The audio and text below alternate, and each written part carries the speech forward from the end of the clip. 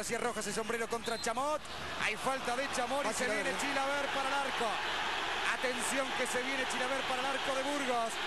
Tiro libre de Paraguay. Inmediatamente cuando hubo falta, despegó Chilaver de su valla. ¿No es un poco exagerado? ¿No es muy lejos? Le digo una cosa, miembro. Ahora, no es muy lejos.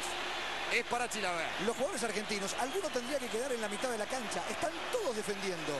Alguien tendría que aprovechar la posibilidad de un rebote. Alguien tendría que pararse en la mitad de la cancha. Batistuta por lo menos. Le va a pegar Chilaver. Atento, Germán, atento. Me acomoda bien la barrera, le dice al brasileño, el capitán de Paraguay. Argentina gana por 1-0.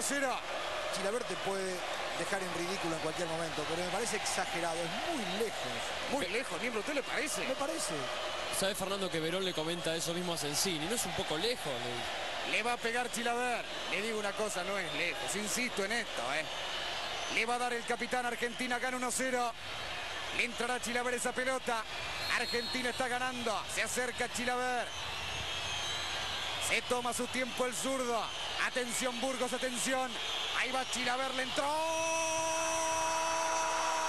de Paraguay. Lo hizo Chilaver de tiro libre. A los 41 minutos y medio empata el partido. Argentina-Paraguay 1 a 1.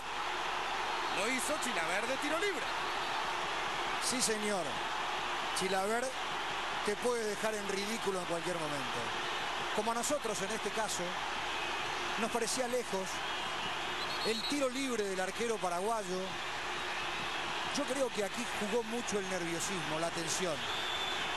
Le pica la pelota delante a Burgos. Qué bien le pega a Chilaver por afuera de la barrera, donde están dos paraguayos. Burgos la quiere sacar para el costado.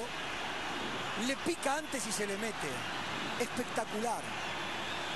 Espectacular, sensacional, estupendo.